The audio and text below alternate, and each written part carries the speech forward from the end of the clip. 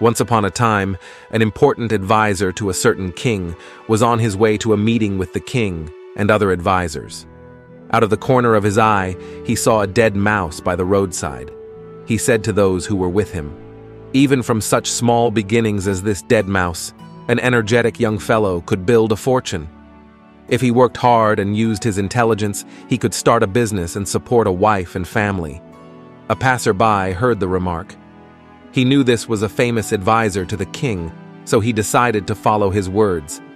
He picked up the dead mouse by the tail and went off with it. As luck would have it, before he had gone even a block, a shopkeeper stopped him. He said, My cat has been pestering me all morning. I'll give you two copper coins for that mouse. So, it was done. With the two copper coins, he bought sweet cakes and waited by the side of the road with them and some water. As he expected, some people who picked flowers for making garlands were returning from work. Since they were all hungry and thirsty, they agreed to buy sweet cakes and water for the price of a bunch of flowers from each of them. In the evening, the man sold the flowers in the city. With some of the money, he bought more sweet cakes and returned the next day to sell to the flower pickers. This went on for a while, until one day there was a terrible storm with heavy rains and high winds. While walking by the king's pleasure garden, he saw that many branches had been blown off the trees and were lying all around. So, he offered to the king's gardener that he would clear it all away for him if he could keep the branches. The lazy gardener quickly agreed. The man found some children playing in a park across the street. They were glad to collect all the branches and brush at the entrance to the pleasure garden for the price of just one sweet cake for each child. Along came the king's potter, who was always on the lookout for firewood for his glazing oven. When he saw the piles of wood the children had just collected, he paid the man a handsome price for it. He even threw into the bargain some of his pots. With his profits from selling the flowers and the firewood, the man opened up a refreshment shop. One day, all the local grass mowers who were on their way into town stopped in his shop. He gave them free sweet cakes and drinks. They were surprised at his generosity and asked, What can we do for you? He said there was nothing for them to do now, but he would let them know in the future. A week later, he heard that a horse dealer was coming to the city with 500 horses to sell. So he got in touch with the grass mowers and told each of them to give him a bundle of grass. He told them not to sell any grass to the horse dealer until he had sold his. In this way, he got a very good price. Time passed until one day, in his refreshment shop, some customers told him that a new ship from a foreign country had just anchored in the port. He saw this to be the opportunity he had been waiting for. He thought and thought until he came up with a good business plan.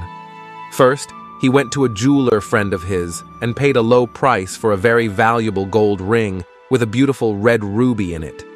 He knew that the foreign ship was from a country that had no rubies of its own, where gold, too, was expensive.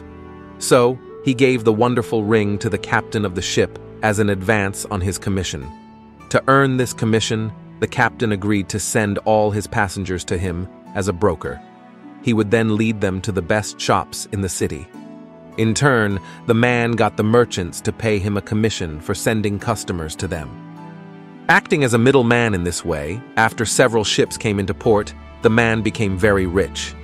Being pleased with his success, he also remembered that it had all started with the words of the king's wise advisor. So, he decided to give him a gift of 100,000 gold coins.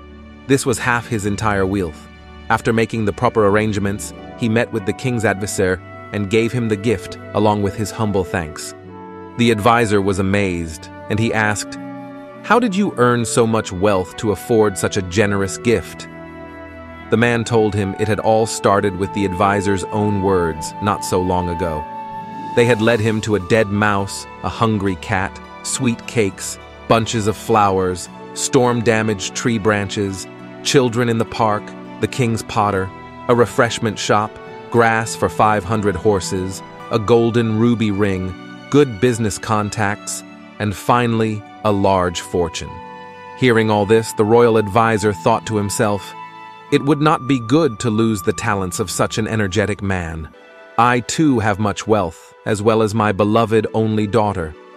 As this man is single, he deserves to marry her.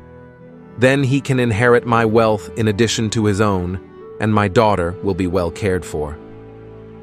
This all came to pass, and after the wise adviser died, the one who had followed his advice became the richest man in the city. The king appointed him to the advisor's position.